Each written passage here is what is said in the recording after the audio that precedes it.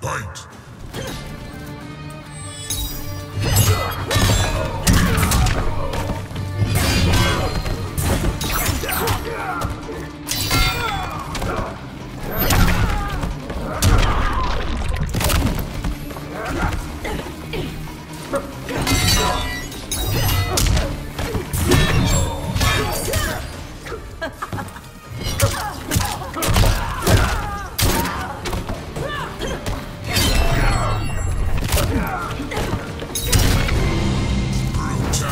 Death was the only way out.